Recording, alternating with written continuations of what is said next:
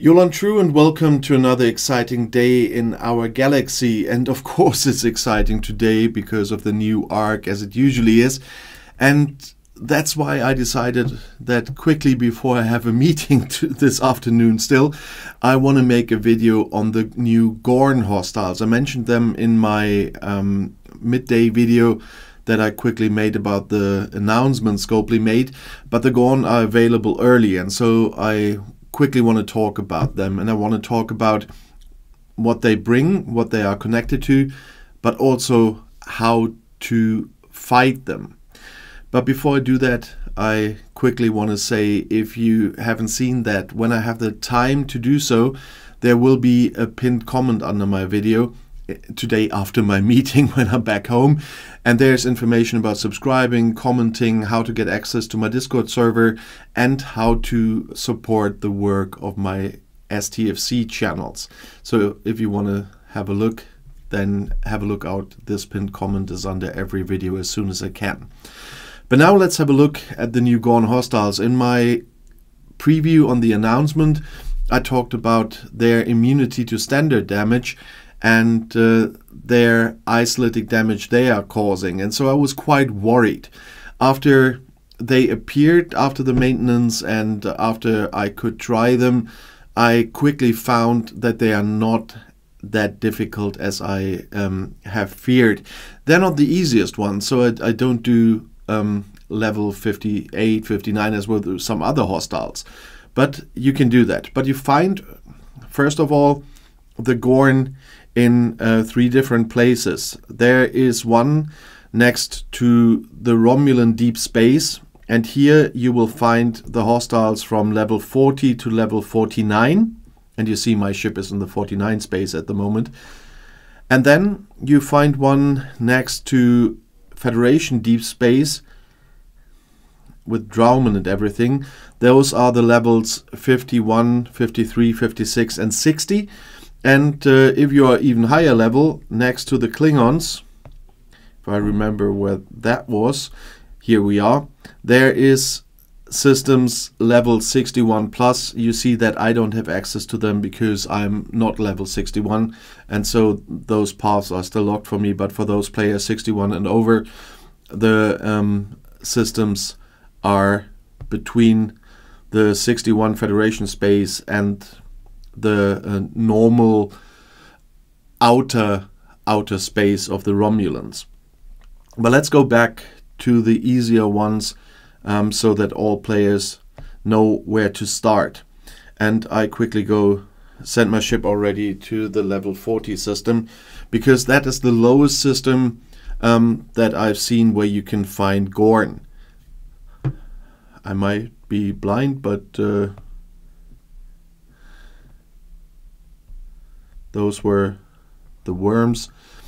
But uh, the color helped me find the system so far yet, and this uh, different kind of nebula you see around the systems now.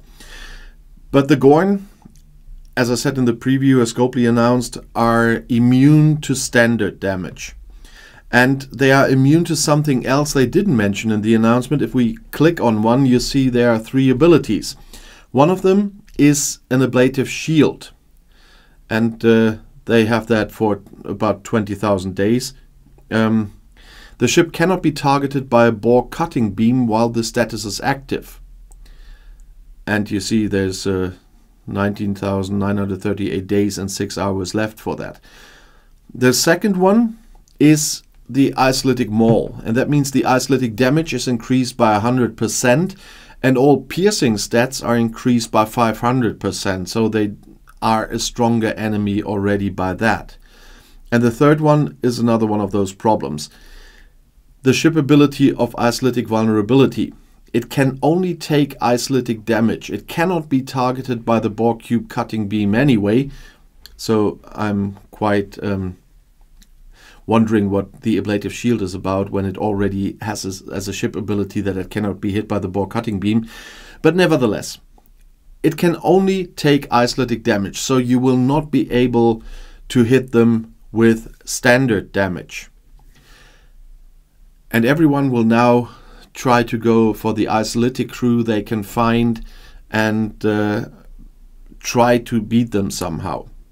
Of course, I'm on my way here with a Northcut at the moment, and that in a level 40 system, but I want to show you one thing on a level 40 ship. By the way, keep an eye on the battle triangle that really uh, also works on those. I tested that in the 49 system and in the 51 system.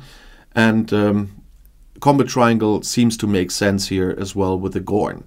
But let's um, just destroy one and have a quick look in the battle protocol because it was easy. I didn't have the damage I have is mostly from some 49ers. They deal isolytic damage and why ever uh, they deal standard damage, but nevertheless, uh, they they do deal standard damage, but they are better with isolytic damage than other ships. But the point is, um, which I don't understand here. Okay, when I, when I hit much uh, weaker ones, obviously it's broken. Um, to show the proper stuff, I better take one of the 49ers. Um, here, let's take this one. Because the 40s seem to be broken, I, I, I cause standard damage on the 40s, why ever. But here you see it. Um, oh no, it mitigates it. Nevertheless, my Northcut deals 3 million standard damage on the first one, and the Acrocanth mitigates 3 million standard damage. So it takes no damage from my standard damage.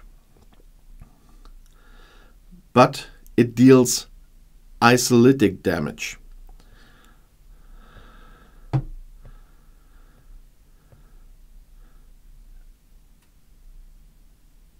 and you see that the isolytic damage does the trick here.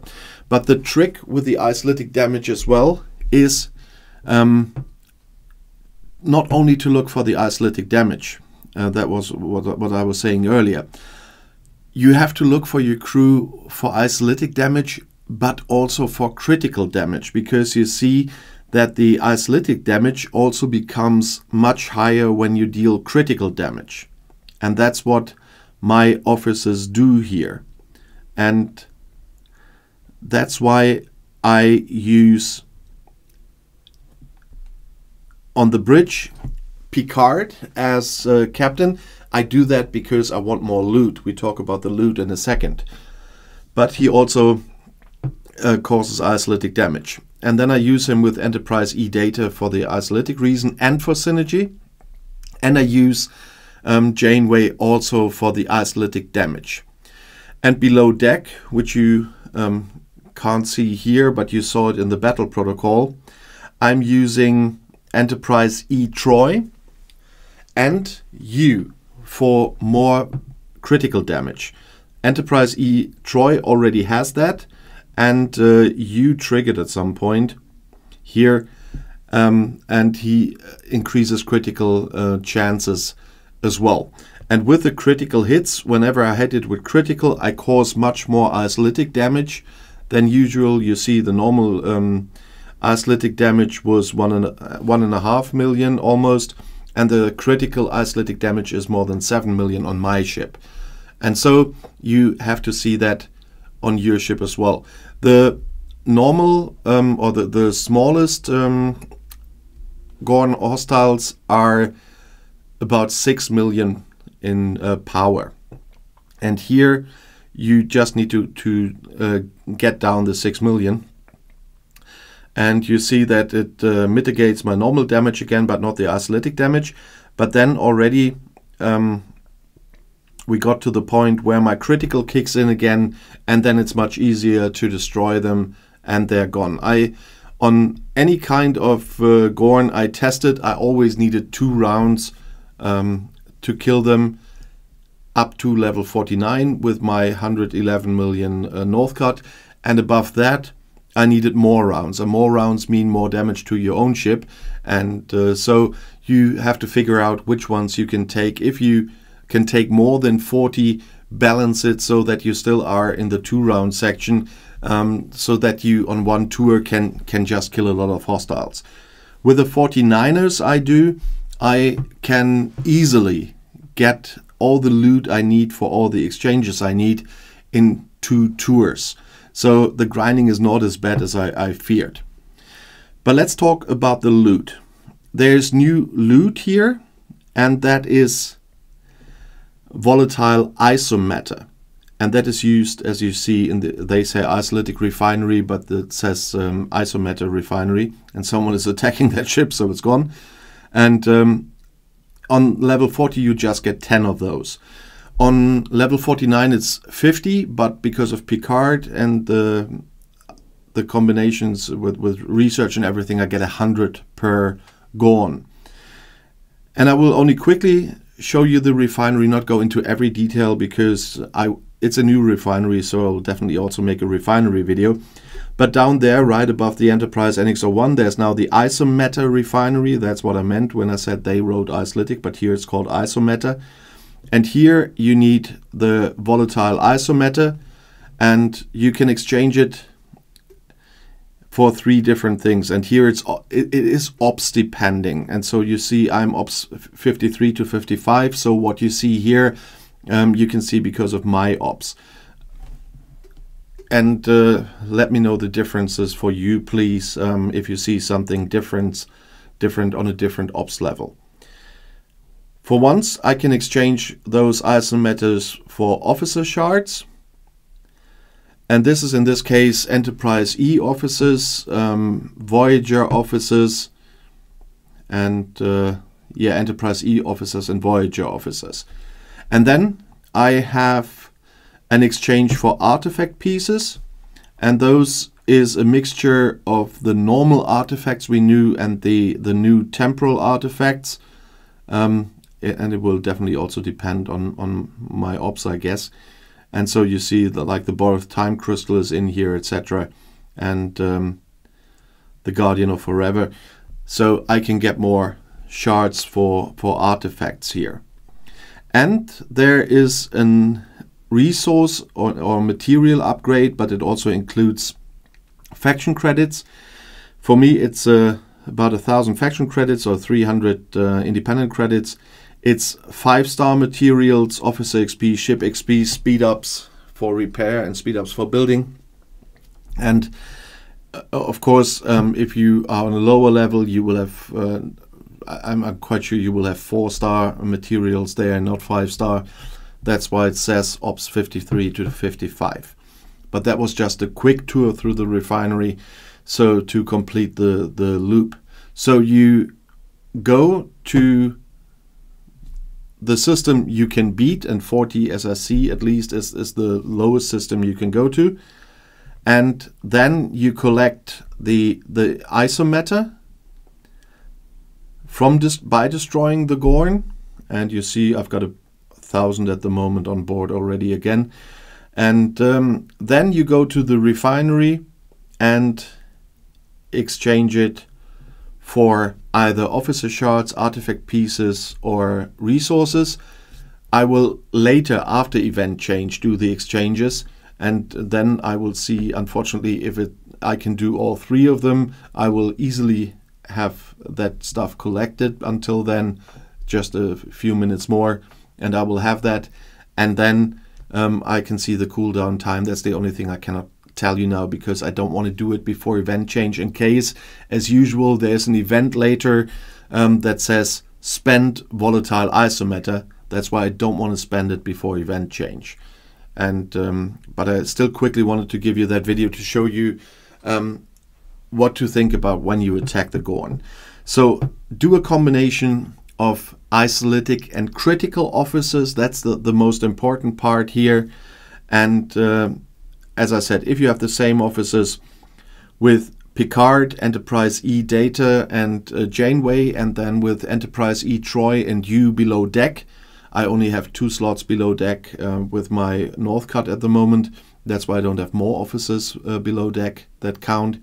But those are the ones really decisive for my big isolytic damage and for um, the critical damage. And you need a combination of both because the critical does increase, of course, your isolytic damage. And so just isolytic damage, you will have to fight, I, I, think you have to fight many more rounds. If you can uh, combine your isolytic damage with critical damage, then uh, you will need less rounds to kill one of the Gorns if your critical um, kicks in. I hope for a very early kickstart video on the Gorn I could give you um, a little help with it and uh, that you can can manage to to attack them. Of course, I will do more tests on the long run, but I think when everything starts with with a new hostile, everybody wants to go after them, and uh, that is what I could test so far. I tested a few crews, and that's what I'm doing best with. And so I always need two rounds for for um, most of the Gorn here um, to beat them. So that's why I suggest try out that crew if you have them. Otherwise, really have a look for your critical and isolytic offices and keep an eye on your, your isolytic artifacts, by the way. If you want to add something about the Gorn, if you have done some tests as well already, please uh, write it in the comments. It's very early to make this video, so I'm very happy about every other opinion coming in. Uh, but as usual, if you have uh, questions in general or video requests, you know that I regularly read your comments. And you know, in the next days, I will make videos on all the different parts of the new stuff that's coming in tonight. So um, don't worry, I will talk about all of that. And if you want to see another video right now, the next one is right here in the end screen. I'll see you there. I'll be back.